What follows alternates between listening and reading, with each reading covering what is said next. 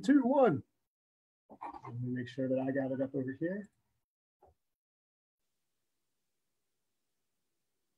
Just setting it up for live right now. All right. No turning back now. No turning back now. That's right. All right. Just let me make sure. Ah, perfect. There we are. All right. So, uh, First of all, good morning, everyone. Uh, I'm Will Driscoll from the Virginia Sports Hall of Fame. I'm the executive director here. Uh, coming to you this morning from my office uh, here in Town Center, Virginia Beach. Uh, there's, don't worry, there's plenty of appropriate social distancing. I'm the only person here in the office, and we're really trying to do our part to keep everything that way. Um, but before I introduce the other person you see on your video screen right now, I kind of want to give you a, a, little bit of background as to what we're doing here. Uh, last summer, we rolled out our Hall Call podcast, and the podcast has been a a great content platform for us. It's really been highlighting our inductees, but also topical figures and issues in Virginia sports.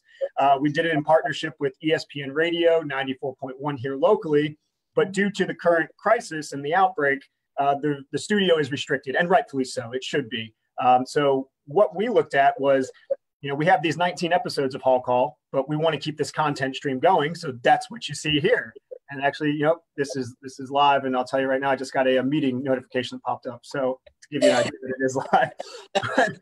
again, with everything going on, we wanted to keep that content stream going, and so today, in keeping with the mission of Hall Call, uh, we're joined by a, a, pretty interesting figure, at least in my mind, in Virginia sports. Uh, Brandon Elliott, the two-time national championship coach for Virginia Wesleyan softball. Uh, he's also a pretty good follow on social media, so you can find him on Twitter at Elliott Says What. Uh, coach, thanks for joining us today. I know this is a very tricky time, particularly leading a Division three program here in Virginia.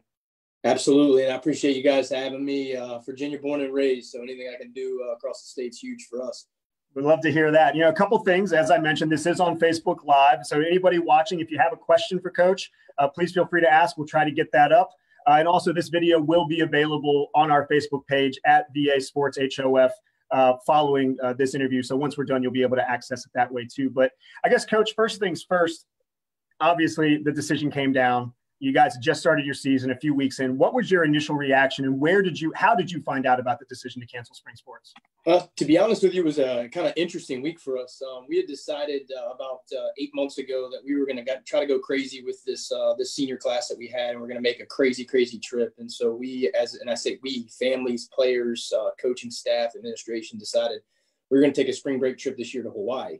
Um, and you can imagine the uh, the expenses involved with that, and, and extensive amount of fundraising on top of what we already do. And uh, so that Monday, uh, the decision from the NCAA came down, I believe, on Thursday. Um, mm-hmm. Um, that Monday, um, our administration at Virginia Wesleyan, um, you know, emergency response team, uh, contacted me uh, that afternoon, and it was an off day for us, and told us that you know we needed to cancel our our spring break trip to Hawaii. Uh, and so I had to deliver the news. I did it in person that evening with a team meeting on Monday. And uh, at that moment, I thought, uh, like I told the girls, I feel like the Grinch. Um, it was the right decision, certainly. Uh, certainly now it looks like definitely the right decision, right? But at that time, that was when things were really starting to kind of begin to move. Um, so I felt like the Grinch on Monday.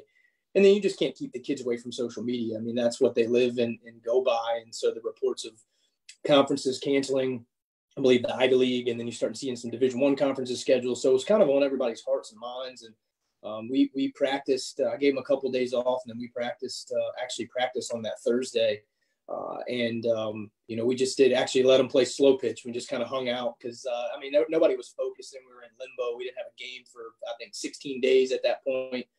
Um, and then uh, at the end of practice, some girls saw it on their cell phone and, and had some questions and you know, well, for us, I mean, that wasn't at that point wasn't the end of the season. We still had the conference uh, potential conference season to play and seeing what our conference and our university was going to do. But you know, for us, and I mean, you, you, the the folks that are in the Virginia Sports Hall of Fame, they know. I mean, for us, is to try to compete and, and win a national championship and compete at a high level. So to know that the championships were over, um, we had that conversation um, there uh, in, in the dugout and together, and it was certainly emotional. Uh, we still had a little bit of hope of the season, but um, you know, fortunately, we were able to be together. But uh, certainly, the most difficult conversation I've I've ever had to have with uh, with a group of people you care care genuinely a lot about. Well, you know, you and you mentioned the championships. I mean, that's not something that is uh that that's unique to you guys. You guys have had a an unprecedented run of success in the 12 years. I guess this would be your 13th season as coach, right? Right. So eight NCAA appearances, seven consecutive, seven ODAC championships. I mentioned the the two time the two the two national champions championships. Uh, and I'm assuming this group was probably on that trajectory as well. I mean, talk about the, I guess, the disappointment or just like the what could have been that goes into to these decisions and those conversations that you had to have with your student athletes. Yeah, I mean, I just got chills thinking about it. I mean, in the grand scheme of things, right at that moment, we thought it was one of the most difficult things in our life. But what we're dealing with globally right now, you know, I, I keep trying to tell our kids, you know, there's a billion people out there that doesn't that don't know what Virginia Wesleyan or, or Division three softball is. So uh, in the grand, but they know what coronavirus is right now. Um, mm-hmm. So I try to keep it in perspective a little bit. But in that moment, I mean, you certainly think are the what ifs, and um, you know, I, I, could do this thing for another 20 years, 25 years, and I hope that I have the opportunity to do that. And we may never have the opportunity to compete for a conference championship, much less a national championship. So when you know you're in the midst of um, a great year, and I know how difficult it is, and, and maybe it wouldn't have ended on a national run, but I, I hope it would have. Um, but where we were, how we were playing, the group of women that we have, um, we certainly felt like we were in the mix to make another big run, um, especially with that senior class that have won it twice already. Uh, so that you know that makes it. You know, I asked the girls. I said, if we weren't any good, would it be easier to have this decision? Like if we were terrible. Um, one of the the coolest thing that came out of that um, was one of our kids said, "Coach, it doesn't matter how good we are that makes this hard. It matters how much we care about each other. And I, I think that was like the, the big piece for me. It was they weren't as concerned about the season being over as they were with knowing that they probably weren't going to be together. Um, you know, and that's what culture is all about in sports, right?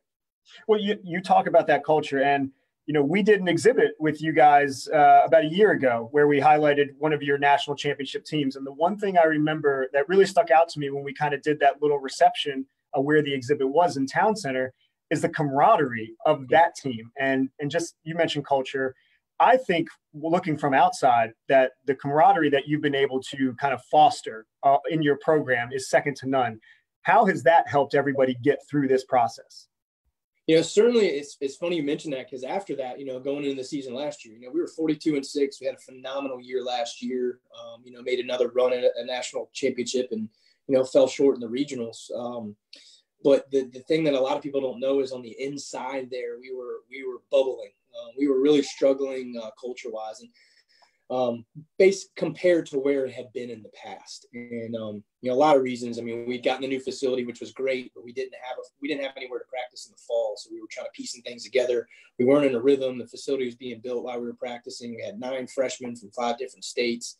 You know, I'm sure as a head coach, I didn't handle things great all the time either. So, you know, last year was a struggle mentally with with that group. Um, and you know what happened was we had some conversations uh, this summer. Um, I actually had phone calls with every returning player, and I put myself on mute, which is difficult. um, but I just let them have at it. You know what's working, what's not working, what do we need to change culturally, what do we need to do, um, and the things that came out of those conversations um, with those women were, you know, sometimes they were tough to hear. Um, you know, because some of it was on me, but some of it was on them, and, and just some things we needed to do, and we changed a lot of things. And I say we the women approach things differently. The coaches did, practice did, uh, and the culture. Uh, our word this year was revive, um, and that was just bring new energy or new life into. And that's what this group of women did. Uh, and culturally, this year, um, you know, I would say would rival that 17 and 18 team. Um, those two teams were just so close and so much love. You know, our hashtag is out love, and this group did it again. Um, and you know, you said, you know, how am I doing that with the culture? Uh, I just think I'm a small piece of it, to be honest with you. Um, the years that our culture and our team have come so close together, maybe we put a challenge out. We have a, a leadership coach. His name is Bob Groves. Um, he is phenomenal. He comes in every now and then, and, and, he'll even tell you the reception that he gets from the women and the things that they do together. Um, instead of me mandating it or leading it, it's like I'm a part of it. Um, and I and I'm I'm lucky they let me be a part of it. But and I genuinely say that the, the women build the culture, and um, it, it, that's I think what's it's making this so tough is is not being able to be with them. Well, and you know when you when you have a team like yours and the culture that that gets built, obviously it's upperclassmen heavy. Uh, it, that's that's just kind of the nature of the business. So now you're looking at seniors who may not be able to come back next year. I know the NCAA, I believe, is voting today on, on what to do with eligibility for spring and winter sports. And I don't want to put you in a position to, to go viral or anything, but what should be considered when that decision is being made? You know, I was super surprised that they came out um, across the board and let eligibility go across the board. Um, and I think from for the average sports fan, I don't think we, and even myself, you know, I don't understand the Division One scholarships, but there's a lot of things that need to be considered. Um, how is that going to affect the incoming freshmen? How is that going to affect scholarships? If we continue each year, you're going to have another an extra class of scholarships. You know, what does that look like? Certainly for an SEC school, you know, it's not going to affect an Alabama or an Auburn. But what is that going to do to a smaller school like Old Dominion? What is that going to do to a school in the MEAC like Norfolk State? That what is going to do to those groups that are fundraising for their scholarships? Now they got to fundraise for an additional year, you know, so that might affect kids. A certain there goes the dogs. That might affect. Uh, we are live. yeah, yeah. Uh, it's not my kid, I, I promise. Uh, that might affect people in different ways. Um, certainly, the Division three aspect um, are these student athletes going to come back for a full year and pay full financial aid to come back and play a year um, of sports? And, you know, maybe some of them do, but it, uh, George Wares from Central College, you know, and, and I talked to him, I've talked to Patrick Murphy at Alabama, you know, both of them said, you know, there's not a decision that's going to work for everybody. Um, so I would be surprised if the NCAA goes completely back on what they said because I think that's going to ignite a, a huge issue um, there's been some conversation that there's support that potentially it could be just for seniors. Um, we're going to see how it goes. My personal opinion is that I think whatever we do, um, that we at least give the players, give the kids that have lost this year, give them the opportunity to make the decision. Um, what opportunities that looks like, what the rules look like, and how it unfolds. It's not going to work for everybody, like those other men have said, but at least we give them the opportunity to make the decision and they can take advantage of it or not. So the games are canceled. We know that. But you still, your job is still to be the head coach of the Virginia Wesleyan softball program. But you're doing it remotely. You know, what what are we the challenges? I'm sure we could probably go through and list them, but I want to hear from you. Like, what are the challenges of running a program remotely and how do you keep your team together? How do you recruit? you know how do you stay relevant because even even at the d3 level there's competition for players there's competition for just time and just being noticed so, so what are you doing to make sure that you're running a program correctly from a remote position well i think you uh, from a recruiting standpoint you've got to stand out. You've got to be you've got to be different. Um, you've got to be different in what other people are doing and, and, certainly for us it's being a little goofy and having a presence on social media.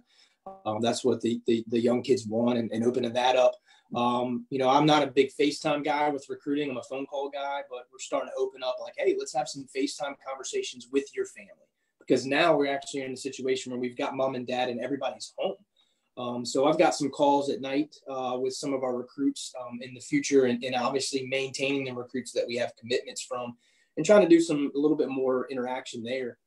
Um, as far as running our program, you know, I told our kids, I sent them a video um, you know, emotional video to thank them for everything they've done this season. But what we've done is the challenge of all right, our, our the three pillars of our program are tradition, excellence, and humility. And so the challenge for our kids is how can we operate within those pillars of our program remotely? And so we've actually split into three groups. There's a tradition, an excellence, and a humility group. Um, those groups are planning what that looks like for the rest of the semester. Under excellence, you could see um, our workouts Monday, Wednesday, Friday It's going to be player led. They may go in small groups and, and work out together on FaceTime at home, doing body weight stuff. We're not going to the gym, certainly, but um, that way they can hold each other accountable. Uh, accountable. Um, we have some kids that are checking in with some other kids on the academic piece that falls under excellence. Um, tradition. We have team dinners, we have team meetings, we have team prayer time. Sundays we do a family prayer group uh, on Zoom. and parents are welcome to it. It's it's actually led by a player every year, every week, and that's been super powerful uh, team dinners. Um, you know, we're doing, you know, team dinner or lunch. Maybe we do a Zoom meeting, just the outfielders, just the infielders. Um, that can fall under our tradition. And the humility piece, um, you may have seen, we've, we've adopted a young lady through Friends of Jaclyn who has terminal brain cancer, Mia, uh, her brother Brendan, and her mother Michelle. Um, and so making sure that we're still staying connected with them. We, we, certainly don't can't visit them right now, but social media stuff, um, sending them videos, writing them letters, doing any of that stuff uh, working with my wife's class. Uh, she's a second grade teacher, and we have some pen pals there that we're doing and, and emailing our professors. So trying to be creative as much as we can. Um, and then from a leader's position, from my side of things, uh, Monday through Thursday from nine to ten, I have individual FaceTime conversations uh, with um, with players every day. So we're big about relationships. I'm huge in relationships with our kids. I want to see their face. Um, some of the conversation is about what's going on at home. Um, some of it's academically. Some of it's just to check in, uh, have some FaceTime with them, literally, um, and just trying to stay connected. Um, so we're doing the best we can. I'm, I'm, doing a lot of stuff on social media through our association and Q and A's, and trying to trying to learn too. But um, on a personal side, like you, you know, also taking advantage of being home yeah. in March and April. Uh, you know, I have an eight-year-old son, and uh, you heard my dogs and yard of the month right now, baby. I'm, I'm, I'm working to that good. point. We're, we're still well behind. but you know, in, in talking about that, as I mentioned, you're you're actually a pretty entertaining Twitter follow. At Elliott says what I'll say that again. But this is something that you've been doing. You're not doing this as a result of of the coronavirus. Does that put somebody like you and your program in a better position as opposed to somebody who that's just not a part of their their style, and now they're kind of forced into that? Well, I think it depends on the type of kids that you're going to attract too, right? So certainly me being goofy and doing things on social media might not work for some kids, and that's fine. That's okay. Um, but but I think it gives a presence. Uh, you know, I'm pushing 40, so it gives a presence for me to feel like I'm 18 again. Uh, but I think it gives a, a presence for us uh, about we, we do have fun in our program. Um, and, and you know, anytime that you're attracting viewers and tweets and retweets and things like that, I mean, if it if it's a good thing, it helps get your program out there a little bit and uh, and maybe finds us a kid or two that maybe is interested. So certainly uh, we're going to take advantage of that as best we can um, and try to put some out uh, on our on our team page as well. So let's talk about the program. As I mentioned, uh, very successful program over the last 12 years. Uh, two national titles, seven conference championships.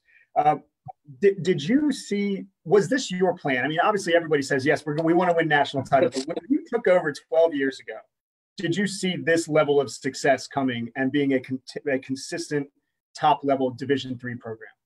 Yeah to be honest with uh, i talked about bob groves our leadership guy. He's been a big mentor in my life uh, for a long time uh, you know pastored my church forever. And, and he always talks about uh, when i speak to groups he always talks about BHAGs uh, and he says big hairy audacious goals. And he always tells me you know it's like what is your BHAG? You know what, what does that look like? Like give me your goals your attainable goals He's like, but give me that crazy, stupid, big, hairy goal that nobody thinks. And when we took over the program, you know, it was part time. You know, it was a seven thousand dollars stipend, and I was I quit my teaching. I saw that job. on Twitter. I saw that on Twitter the other day. It was, it was, it was bonkers, and you know, we were newly married. I mean, and, and, and part of you's like, what the heck? Why did you do that? Um, and now you're like, well, now it makes sense. Um, but I think the BHAG back then was, you know, we at that time we wanted to get, you know, they haven't been to a regional in 26 years, and it was like we want to get to a regional, we want to compete nationally and I was bullheaded and 26 and could do no wrong. And it was like, we're going to win the whole thing. Uh, I'm not even sure I believe that, but I said it. Uh, and, uh, you know, I said it in recruiting and did that kind of stuff. And then I think as you got through the processes and, you know, you got into the conference championship and then came back the next year and you thought we were really, really good.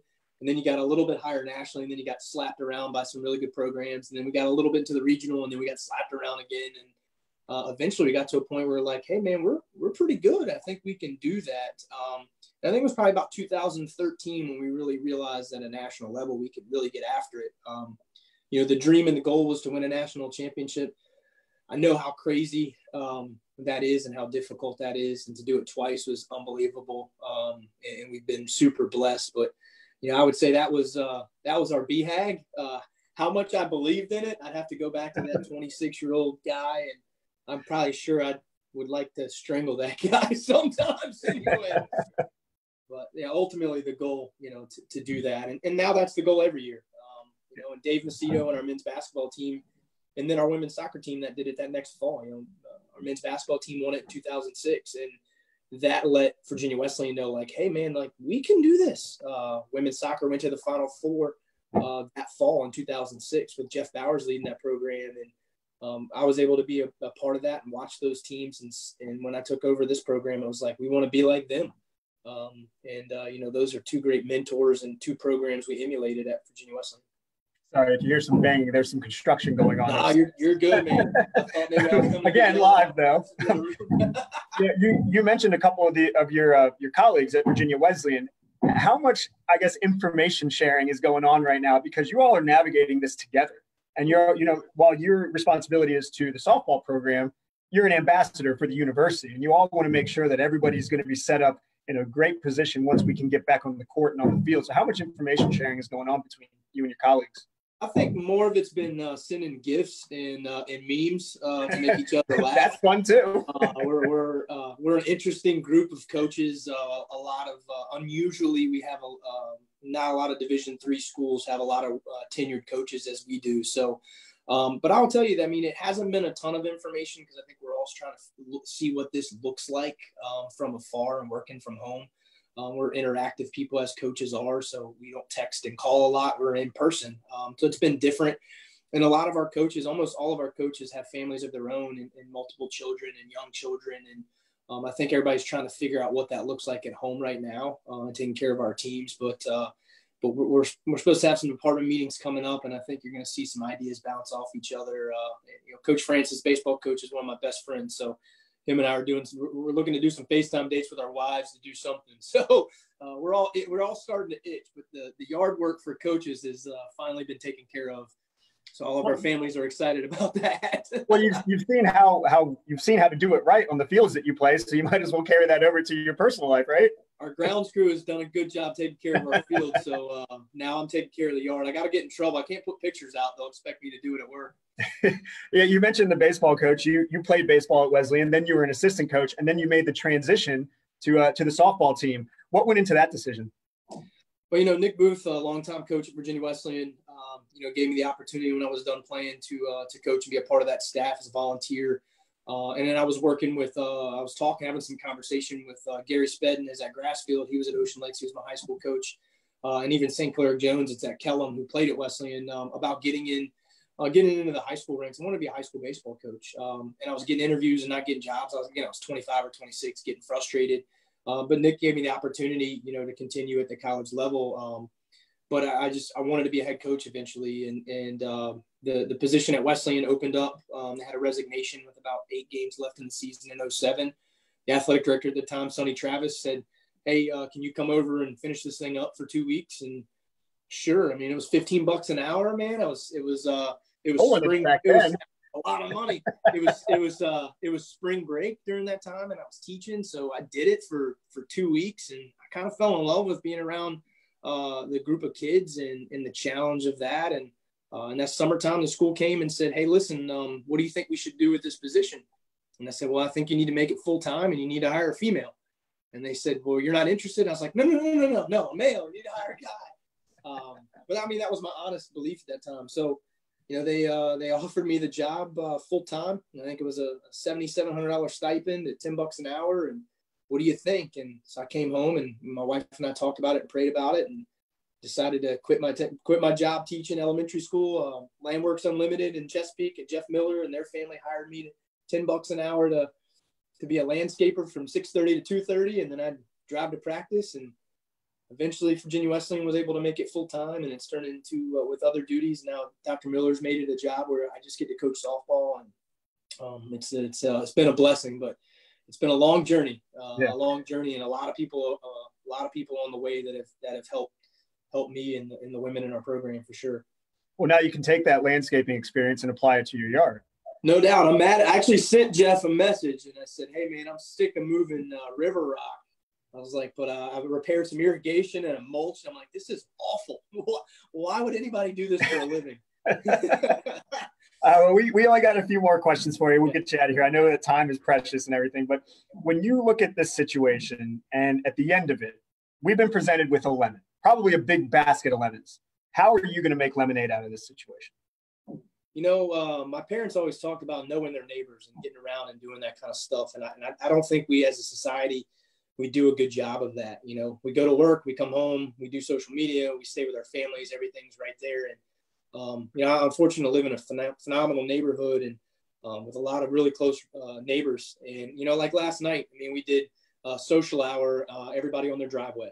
Um, and, you know, there's eight families out there and we're all, you know, 30, 40 feet apart, but we had more conversation last year than we did.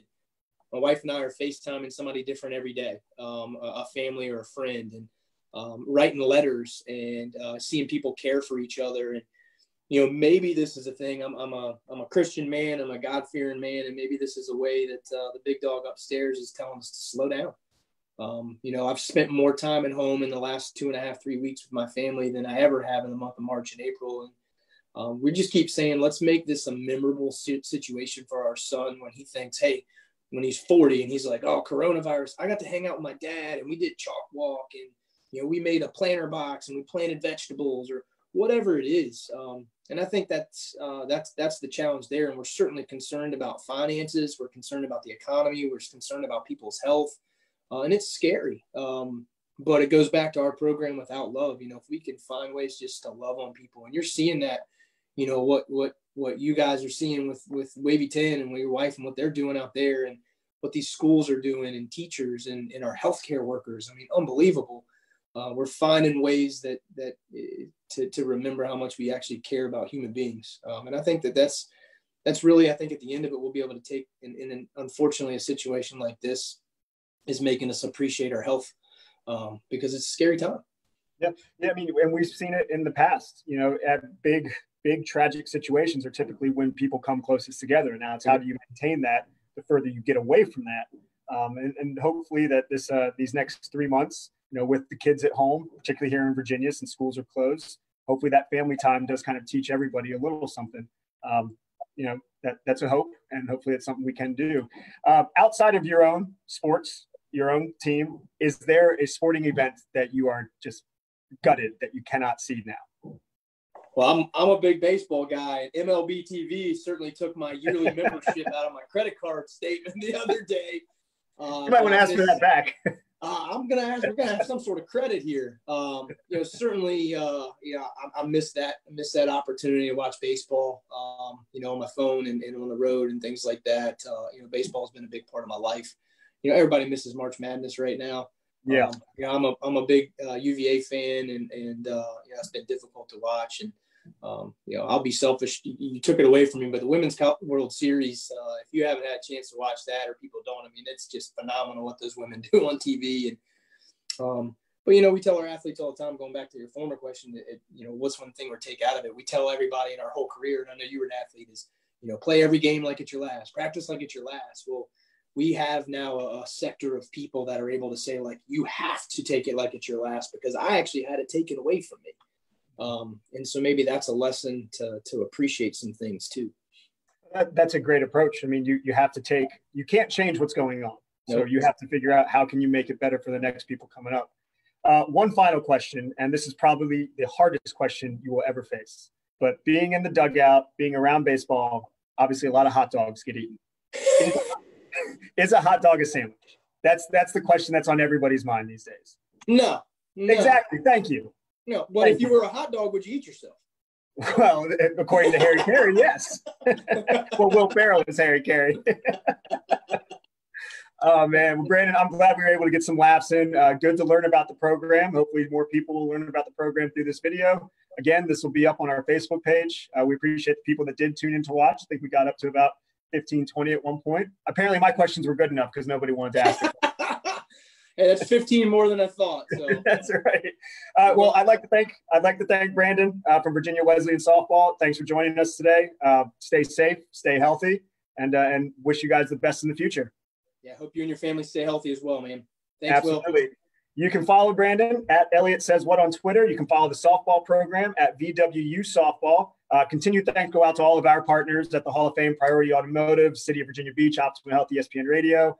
If you like what you saw, follow all of our uh, social media handles Facebook, Twitter, Instagram at VA Sports HOF. I am Will Driscoll from the Virginia Sports Hall of Fame. I hope everyone has a great day. Please stay safe and stay healthy. We'll talk to you soon.